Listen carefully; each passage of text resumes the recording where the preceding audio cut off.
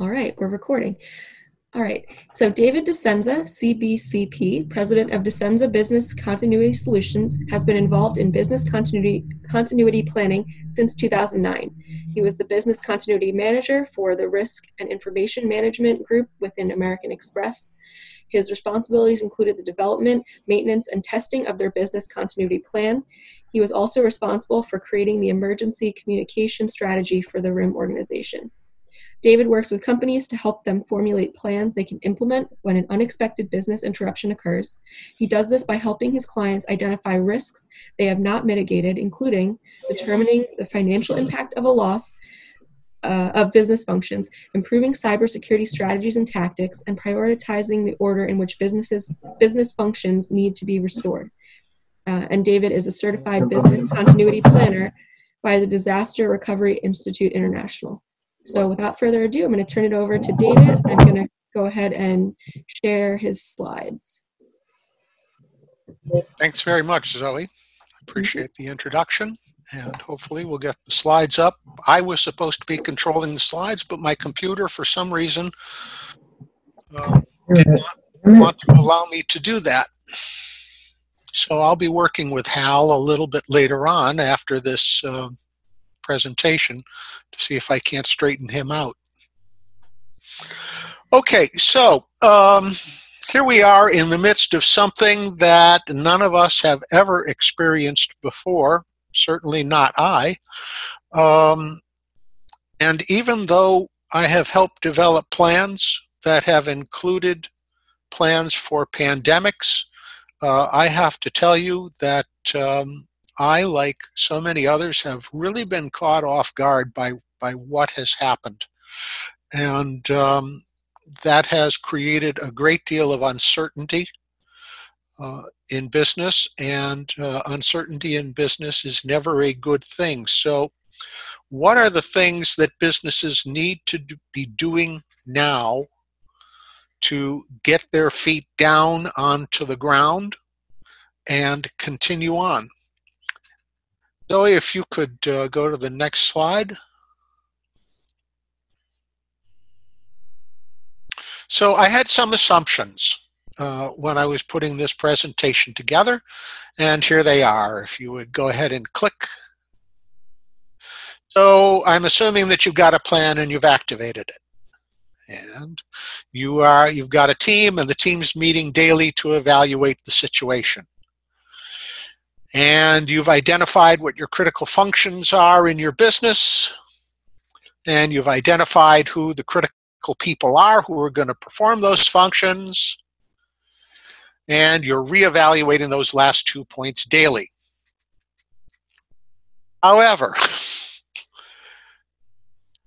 my assumptions could be wrong. And if those are incorrect, well, you're about six to eight weeks behind where you ought to be right now.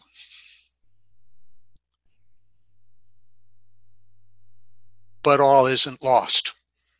There are still things that we can be doing to uh, to get our businesses back up on their feet uh, and operating. So, first of all, Amy, if you'll go ahead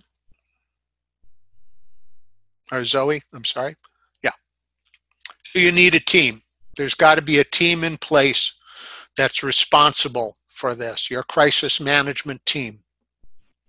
And it should include the senior leaders of the organization, uh, what I'm calling your second tier, I guess we used to call that middle management, and your frontline leaders. I don't think you need to involve your CEO in this, although he or she may want to get involved. And the reason is that there may be an intimidation factor involved. Uh, we've seen it in meetings, haven't we, where people are concerned about speaking up when the CEO is president.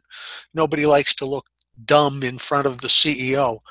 Um, in on a team like this, there's going to be a lot of discussion and a lot of ideas thrown about. And you don't want anybody in that room who's going to squash that. You need your, your middle manager people because they've got a pulse on what's happening, and your frontline people who are, of course, in the trenches. Now, you may reconfigure this in, in different ways, but my recommendation is that at least those are the people that you need to have in the room. So, what is this team doing on a daily basis? Go ahead, Zoe. All right. So, your people down in the trenches, your line leaders, they're sending information up the chain, up to the next level of what the daily situation is. Go ahead.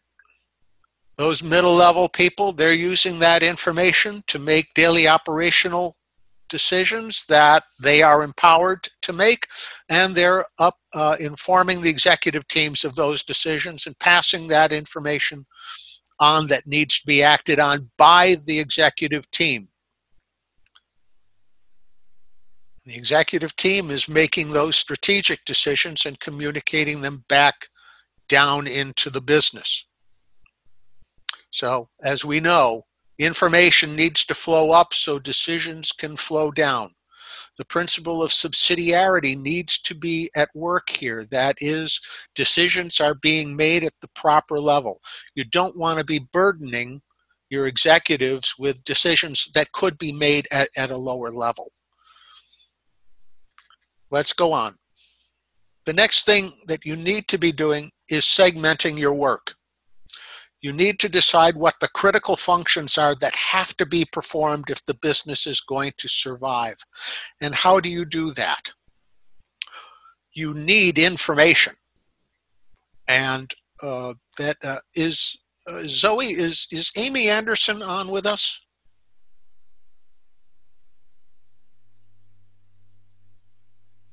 I don't see her on the participant list unless she's one of the phone numbers that called in. Amy, if, if you're there, would you identify yourself?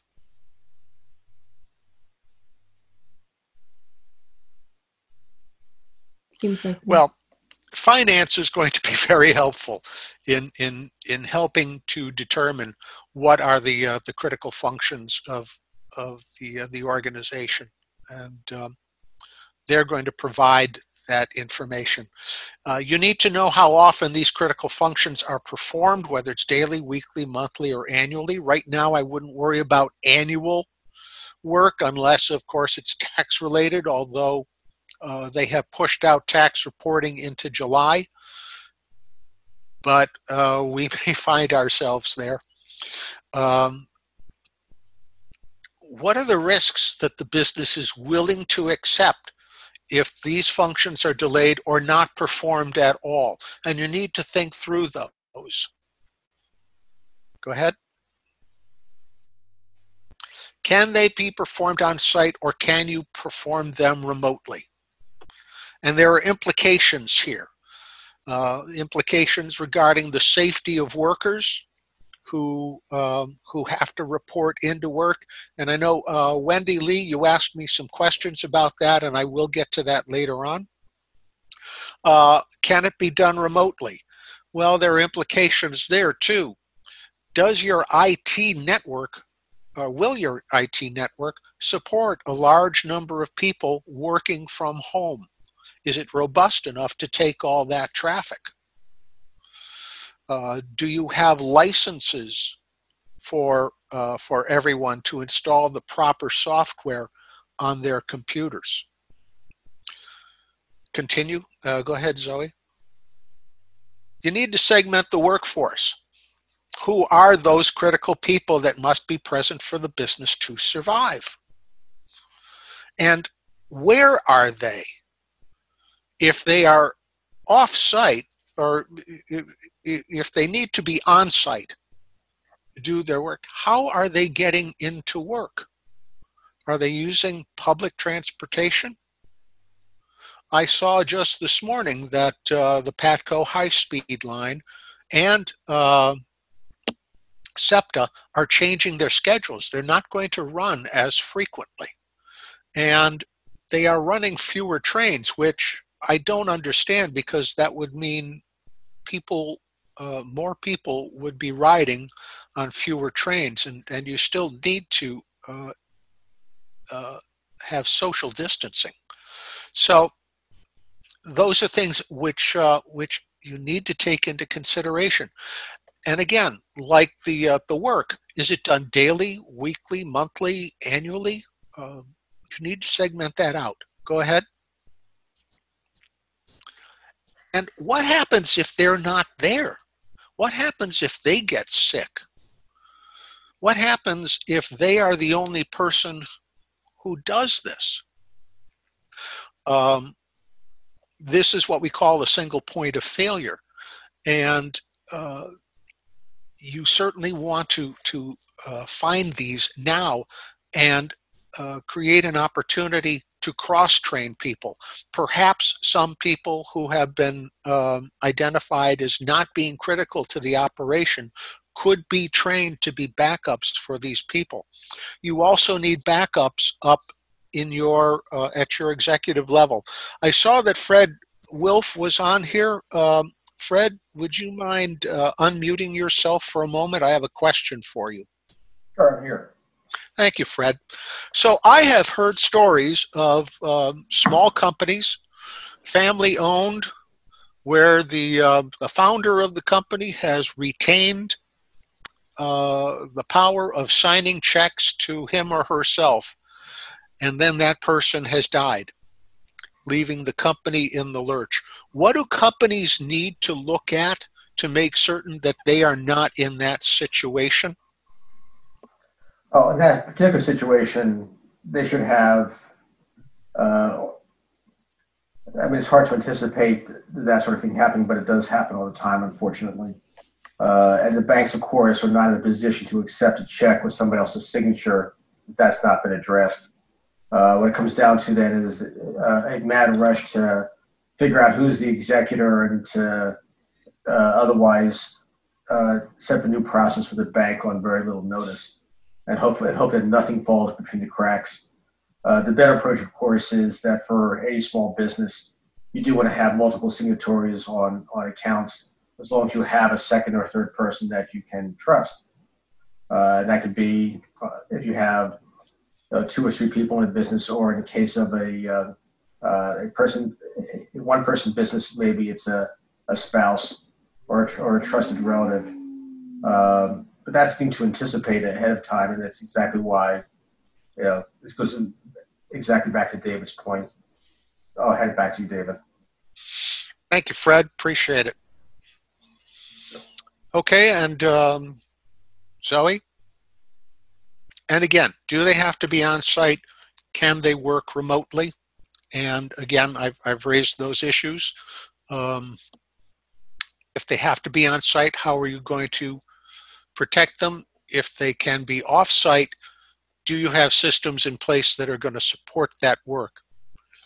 You need to be communicating frequently with everybody in the company. There should be a company-wide update on a daily basis. Even if all you're saying is there's been no change uh, since yesterday. People need the reassurance that that there are people in charge and that uh, problems are being addressed and handled. Um, if you could go on. So, as I've listed here, you want to let people know what decisions have been made, what decisions are still pending. You want to share any successes. You also want to acknowledge any problems and, and what are being done to address those problems. Um, you also need to quell any rumors. And God, we know that uh, there have been rumors generated by this uh, by this pandemic. You know, all the way from that there will be a national lockdown with the National Guard patrolling streets to uh, this has really been a, uh, a bioengineered attack on the United States. Um, you know, and I'm sure that there are probably rumors floating around within companies. They need to be acknowledged and addressed and killed as quickly as possible. Again, for the purpose of maintaining the morale of the people who are working. This is a very unsettling time for people. And uh, if you need people to be on their A game in your business at this time, you need to be addressing any rumors. There's something else that you need to face the possibility of, and that is that, uh, go ahead, Zoe, that somebody in the company is going to contract the virus or worse. And how will you address that? You need to think that through and be ready to deal with it when it happens. I was telling people beforehand, I was telling uh, Bob Jarvis before we began, my wife got notified yesterday that her admin has tested positive for the uh, for the virus. That concerned the two of us because my wife uh, has been working from home for the past two weeks, and fortunately for us, um, we didn't have to go into quarantine because it was 14 days. Uh, uh, the, my wife hadn't seen her admin for 14 days, so we we were put into quarantine at three o'clock and released at five o'clock. So it was a pretty short quarantine for us. But that news is going to spread in the company, and uh, you need to be prepared to deal with it and God forbid somebody die from it, you need to be ready to address that. Let's go on, Zoe. All right, I want to uh, uh, take a few moments here about uh, talking about risk management. And unfortunately, risk management has become uh, a dirty term in a lot of companies. They don't really want to uh, to deal with it or acknowledge it. Um, they will give it to one person. They'll put in some kinds of controls, maybe the three layers of defense to prevent risk. Um, this is a model that's been developed by a fellow uh, named Horst Simon. You can find Horst up on LinkedIn. Uh, I'm not going to say too much about this because uh, this could be a presentation in and of itself. But this is a model, a management model that, that Horst has developed that um, is far more holistic than any other that I have seen. And it rests on uh, good sources of risk intelligence, a risk, what he calls a risk nervous system, that is a, a means within the company of distributing this information and people who've got the competencies and skills to act on that knowledge. Horst's position is that no one is responsible for risk management in the in the company because everyone is responsible. There's no one person who's got that uh, burden on their shoulder. Everyone is responsible. Uh, this model requires situational awareness. Well, that comes from your risk intelligence system.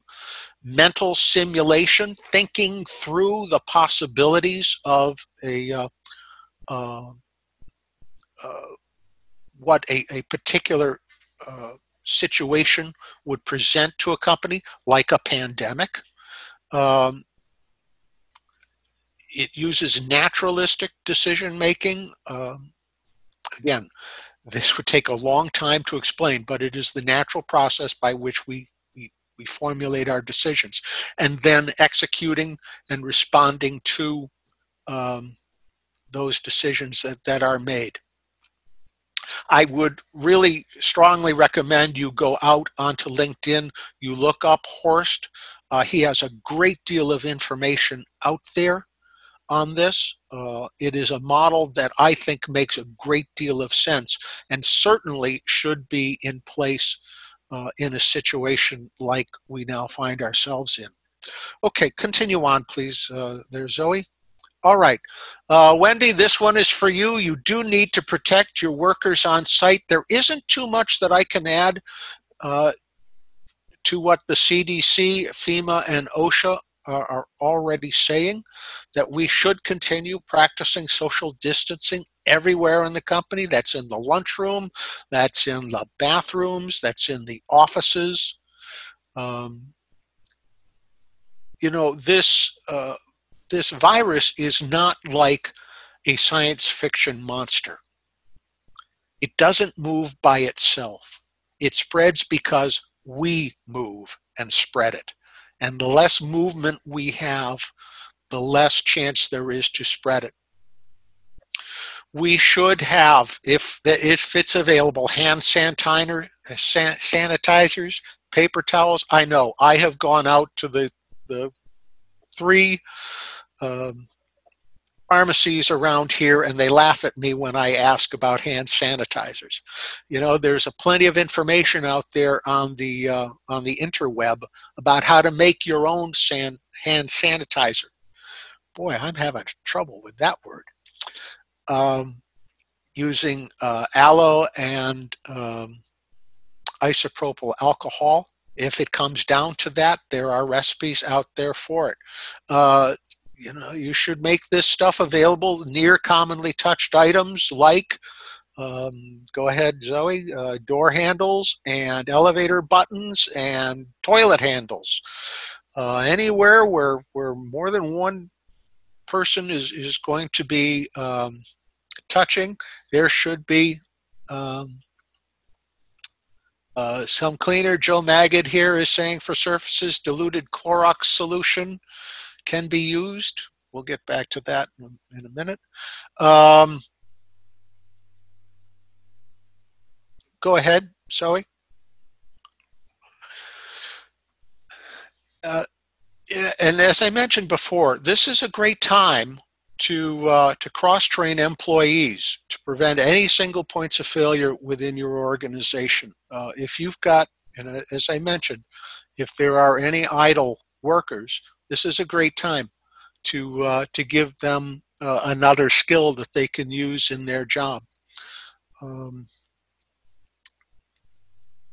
it's also an opportunity for you as a business leader to uh, develop your bench strength to make certain that there are people who can take over from you if need be. Let's go on. Okay, so we are in a war. We are fighting an unseen enemy. And things are changing on a daily basis, just as in a war. You know, we are all recall that saying of, of some field marshal that um, battle plans change the moment that the enemy is engaged. Go ahead, Zoe. So We've got to review all of our previous decisions as new information comes in and make changes as necessary. We also have to remember that just as in a war, um, this causes a certain degree of discomfort for people, and we need, we need to be taking that into consideration as we make uh, as we make these decisions. That's why I say you need to communicate to your uh, to your people on a daily basis and let them know that um, there is there the problems are being handled as best as they can. Let's continue. Now, this might sound a little crazy, but now is the time to start thinking about recovering your business. We are a long way away from everything that I have seen from the peak of this um, uh, pandemic in this country. Um, and that means uh, we are going to be operating under these conditions for quite some time. So the thing to do right now is to start documenting all these decisions that are being made at all levels of the organization get a notebook into the hand of everybody who's got a leadership responsibility and tell them record what you're doing on a daily basis so that when we get through this, and we will get through this, when we do our after action report, we're going to have material that we can go back to and from that start crafting our business continuity plan that we will have in place when the next disruptive event occurs. Go ahead, Zoe. Okay, so I said keep a diary. Think strategically about how your business will be different and it will be different when we come out of this. For example, go ahead. We might be elim eliminating certain products and services that we have discovered that are um, really do not make money for the organization. I have a client up in New York City, they had 1 million SKUs, and they've realized that a, a large percentage of those are one offs. They're eliminating them. We might find that we can introduce new products and services. You know, uh, we all know that a, um, a disruptive event not only offers challenges, but it also offers opportunities. And maybe there are new products and services that we can offer our clients as a result of this event. Um, is work from home going to continue? If it is, how is that going to change your organization? Um, think about this for a moment. If more people are working from home, do you need as much space as you currently are occupying? If not, perhaps you can consolidate some things. But what do you need for a network in order to support that? And how are you going to keep people who work from home feeling connected to the organization? We're already seeing people being very inventive by holding cocktail hours on Zoom after work. Uh, what other things could be done to keep people who may permanently now work from home connected to the organization? Here's something you also need to be thinking about. Will you be bringing back all your staff? Do you need to? And how are you going to handle that when you recover the operation and, and return back to the new normal? I want to say something here about cyber vigilance. Uh, we have probably already seen the stories out there about increased attacks using uh, this pandemic as an attack vector um, into companies. This is uh, a screenshot from an email that I got letting me know, thanking me for purchasing coronavirus insurance plan from Cigna. I did no such thing. This is phony. There are a couple of ways you can tell that it's phony. Um, one is look at that second se sentence there please locate your account invoice statement in the URL under. We wouldn't say under, we would say below. Somebody who has a passing knowledge of English clearly wrote this. Now, did I click on the link? No, I have no idea where it would take me or what it would put on my computer. And that's the more important thing. Phishing emails are still the prime way that the bad guys get into companies. And you may say, well, my company's too small. And that's true. It may be a small company, but you may do work for a much larger company, and that's what they're looking for. That's how the bad guys got into Target. They went in through a uh, um, an HVAC uh, contractor out in western Pennsylvania who had very, very poor cyber hygiene. And as a result, they were able to get in, find the passwords that would let them into the back door of Target's um, IT network. So please, please maintain your cyber vigilance at this time because uh, they are out there and they are trying to take advantage of the situation. Lastly, if you go on, you need to take care of yourself because you are not them. You need to make certain that you're getting your rest. You need to make certain that you're eating properly. You need to unplug from the news media. You need to take a break. Turn the reins over to somebody else for a while. This is a great opportunity, as I mentioned before, to develop some bench strength in your team. If you don't take care of yourself, who will then be taking care of you and who will be taking care of the business.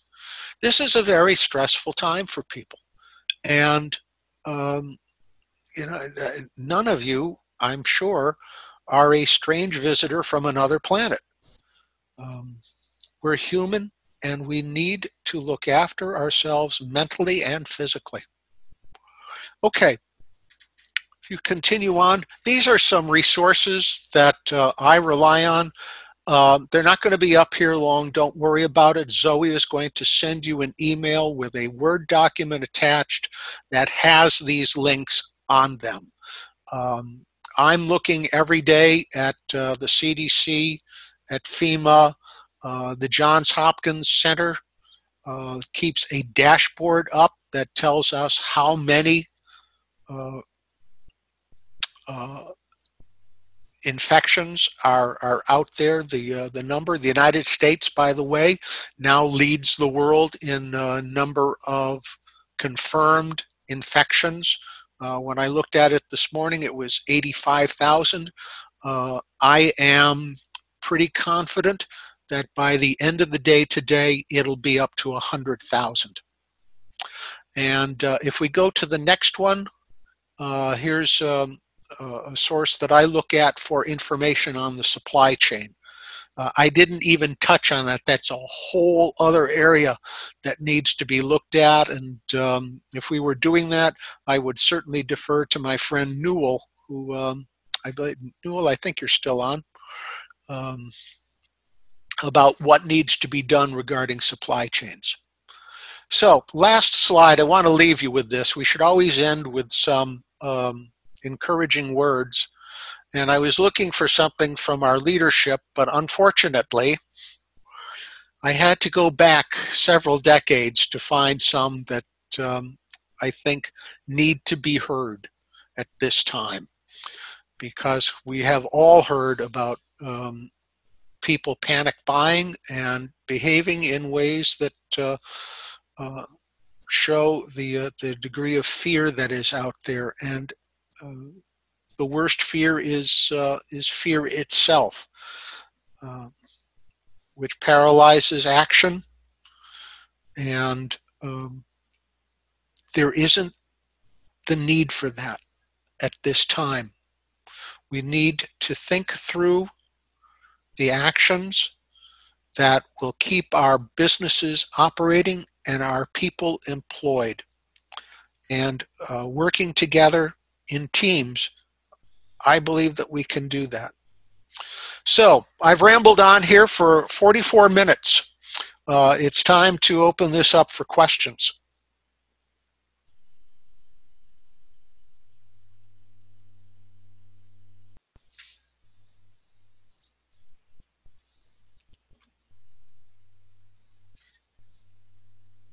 See a question from Newell. Do you want to unmute yourself and ask it? Sure. Thanks, David. Uh, appreciate this presentation. One question kind of goes to your last point. How, when you're dealing with a client, do you uh, get them to kind of take a balanced approach, putting an appropriate amount of resources into continuity planning and preparation without uh, kind of choking themselves or twisting themselves in knots too bad? Boy, uh, at this time, that's really tough. Um, I have a client up in New York City. I just acquired them at the beginning of February, before all of this started really to uh, to develop, and um, they had nothing in place. And we worked very hard trying to outrace a tsunami. Um, operating under the assumption that they were going to lose access to their place of business and people were going to have to work from home, and that quite possibly they might be um, uh, losing people as well in case anybody uh, developed the uh, the virus, and the fear that that might generate. We focused only on those things, and we documented every decision that uh, that has been made. Um, we're not going to do any other work together until this pandemic has passed. then we're going to do our, our after action to refine the plans on what we will do if we lose those two assets again, and then start looking at the other issues or um, the other threats that the business might face. But for right now, we were focused on, on what was right in front of us. Does that answer your question? Yes. Uh, yeah. Yeah. Mostly, I, I guess you know the the kind of my experience has been that companies, and particularly given the current environment, companies are either at one extreme or the other. We're not going to do anything about, particularly small companies, I should say, the kind that I normally work with. We're, we're not going to waste any resources preparing for a problem, or we're going to absolutely panic and throw caution to the wind and just, just do crazy things. Yeah, I have have heard that before. You know what, Dave? We'll worry about that when it happens. That is the wrong answer. You know, the time to learn how to recover an airplane from a spin is not when you're in a spin.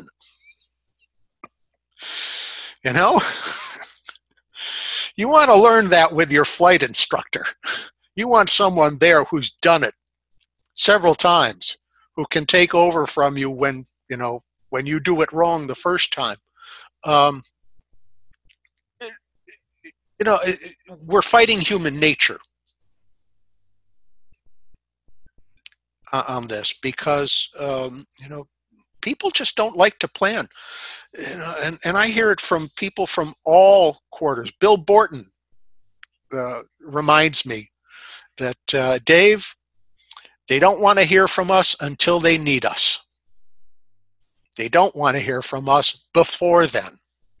So um, I, I hear what you're saying, Newell. Um, they just don't want to think about it until they have to think about it.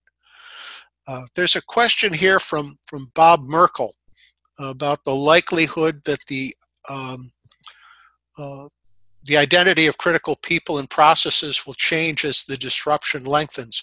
Yeah, it's probably going to change. That's why uh, flexibility is uh, required in this. That's why the team needs to meet daily and review its previous decisions because it may turn out that uh, a decision uh, has to be changed on, uh, on newer information.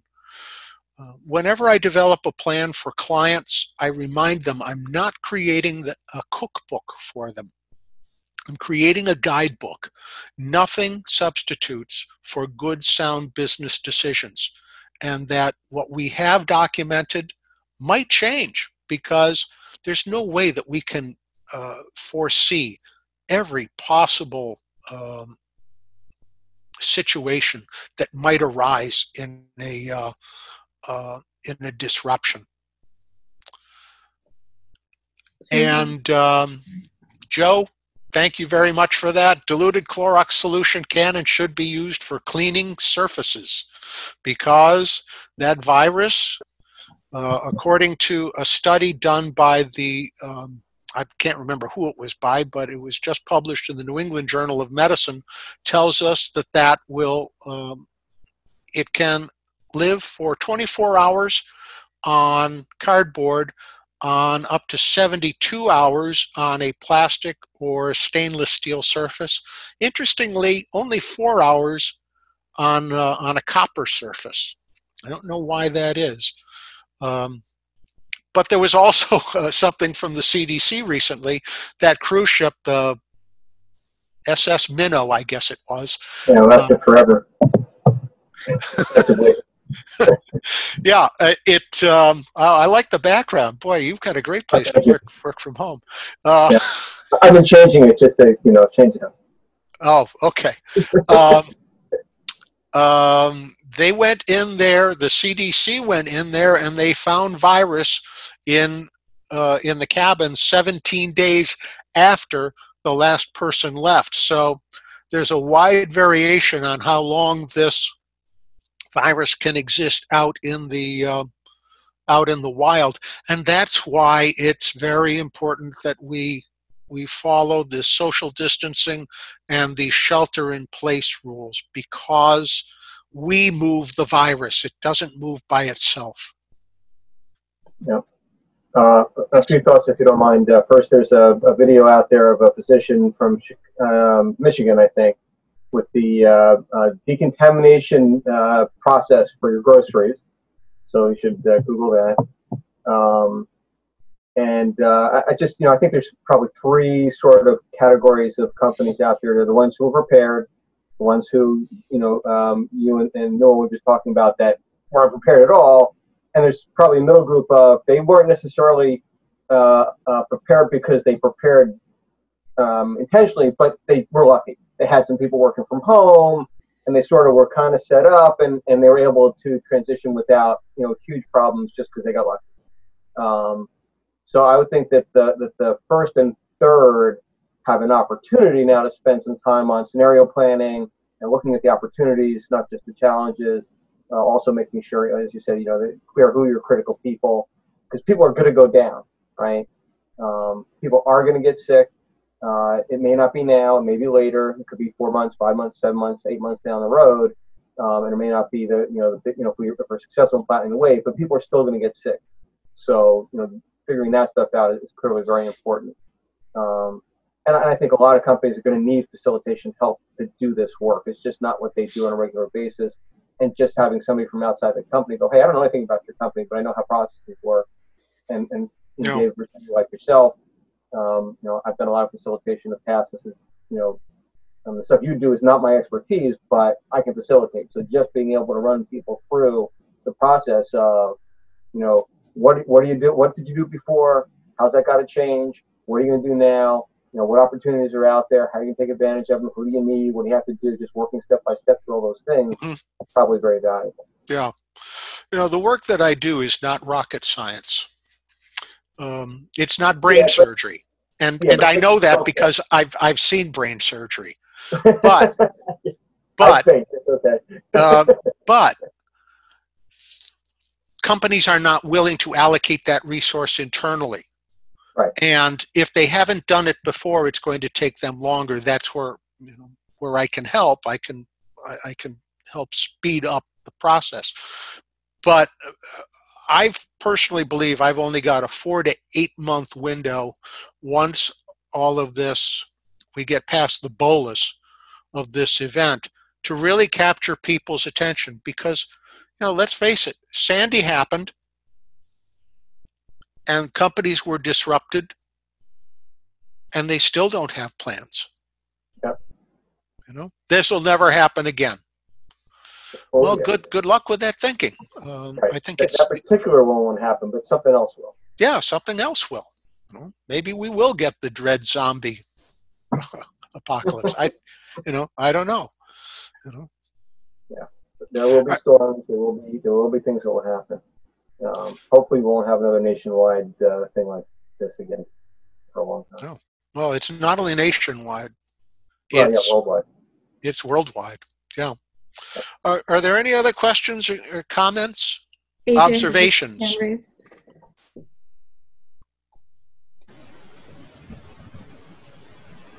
Oh, AJ, hi. I can't hear you. Sorry. I don't know what's going on with your. AJ, are you muted? Can you use sign language? That's too bad because I I can't read it. or if you want to type your question in the chat.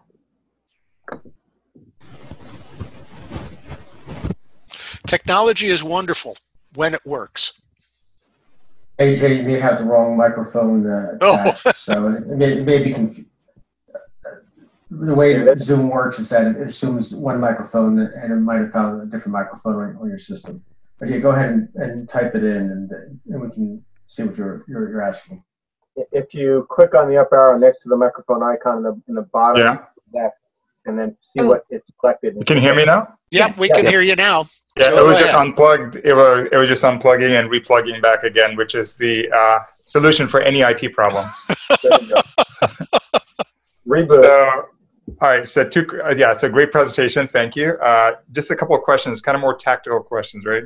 you mentioned, um, you know, critical functions, and uh, you mentioned financial planning or help from finance department. Do you know of any planning templates, finance, financial planning templates that help companies, small companies, come up with critical action plans around like what are the top metrics you should be looking at? That's my first Yeah. question. Uh, short answer, no, I don't. That's why I Hmm. was hoping that uh, Amy Anderson would be on because I did want to ask her that question. I use a tool called a, bus- uh, a business impact analysis, Hmm. uh, in which uh, we go department by department and function by function within that department and ask at what point will the loss of this function uh, impact the uh, the organization? Is it four hours? Is it eight? Is it twenty four? Um, Right. and uh, I'm sure that there are financial um, reports that uh, we could also be looking at that would give us information about what are the, the, the critical functions, what contributes most to the organization. You know, Right. you know, we'll probably find it. It's the old Pareto principle that 80% of the uh, uh, the impact to the organization comes from 20% of, of what the business does. You know, Right. and if that's the case, what are those 20%? What needs to be preserved and Right. functioning now? Yeah. What would be useful would be some kind of a model, some kind of financial model that would say, here's the here's the five things you need to look at when this happens, because these are the most critical. I mean, that impact your Yeah. cash flow and you know things like that. The other question is around the legal framework, and uh, this is you know plays on Newell's point about doing too much or too little. Is there a legal obligation for employers other than following the um, you know requirements whether you can stay open or not are there legal are there legal requirements for what you have to do while you have employees on site like um, best Well, practice is not to get sued Yeah, that's a very broad question. I mean, is that in terms of uh, contractual agreements with uh, with unions? Is that in terms of contractual agreements with customers? Uh, is that in terms of service level agreements that vendors might have uh, Mhm. with you, or that you have as a vendor? Um, that's not an easy que- question to answer. Mm, Uh, Yeah. you know, and all of those need to be taken into consideration when you're doing this planning. That's Right. why you know uh, people think that this is an easy thing to do, but you know you have to realize we're talking about uh, you know unless it's a really small company, we're talking about a Swiss watch here, right? mm, There are a lot of small moving parts that all contribute to the whole, and what are they, and how do they uh, uh, how do they impact the organization? And uh, how do things that are outside the organization uh, you know like your supply chain how does that impact um, you know right now we're hearing that china is reopening well that's wonderful but there's uh, we're going to have difficulty shipping stuff from china because uh, shipping containers aren't available. Ports here in the United States are shut down because what? People are are are home. They're sheltering in place. So um, there's no easy answer to that question, AJ. thank you Uh, Bob Jarvis has a question.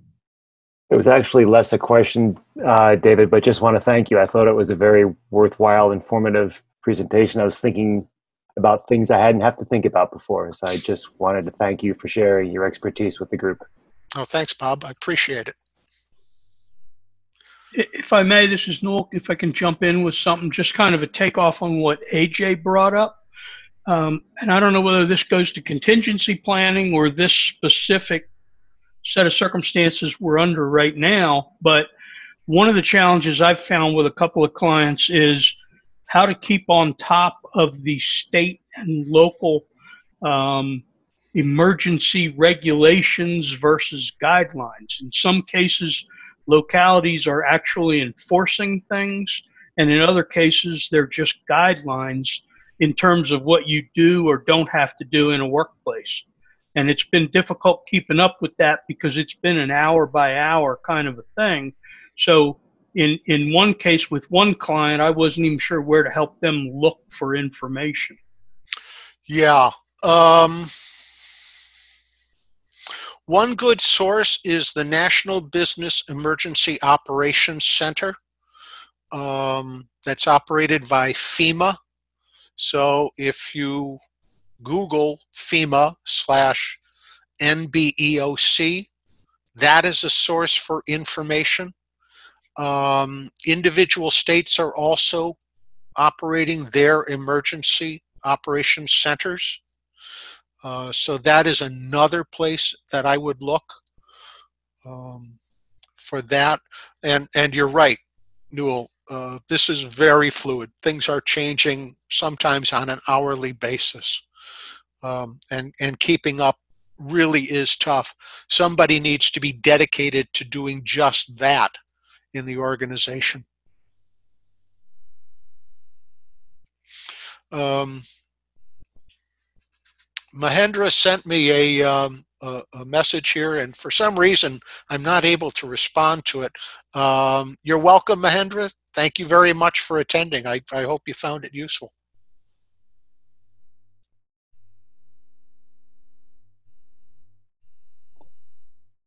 Any other questions from anyone? Okay, so here's what I want everyone to do at the end of today. I want you to unplug from the news media. We know things are going to get worse. We know that. Can you control it? No, you can only control what you do, which is social distance, shelter in place, wash your hands. Um, tomorrow,